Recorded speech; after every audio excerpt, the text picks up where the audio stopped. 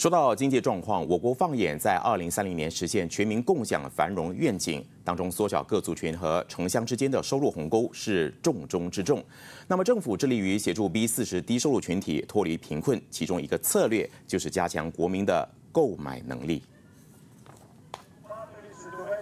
全球财富分配不均是经济学家最关注的课题。这个现象在2008年金融海啸后恶化，更被视为民粹主义崛起和全球各地政治风暴的诱因。我国2030共享繁荣愿景，放眼通过刺激经济增长和创造财富，让我国达至高收入国水平，并公平分配财富，确保全民共享经济成果。政府对城乡收入和发展差距的关注持续了几十年，而城市贫穷群体问题也开始成为焦点。贫穷不只是经济问题，更是人道难题。Dalam kita memburu kecemerlangan industri, kerajaan Pakatan Harapan tidak akan mengabaikan tanggungjawab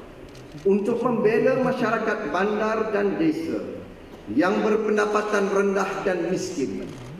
Wawasan ini menjamin bahawa kemakmuran dan kekayaan akan dinikmati oleh mereka.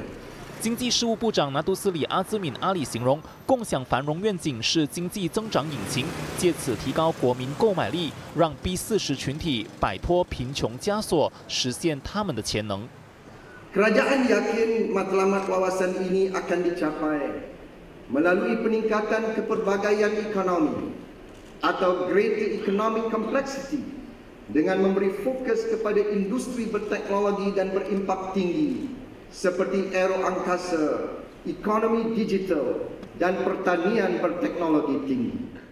这项十年大计将从二零二一年开始推行，但政府在美中贸易战和全球经济状况乌云笼罩的情况下，预先铺设国家愿景，也向投资者投射了清晰的经济录像图。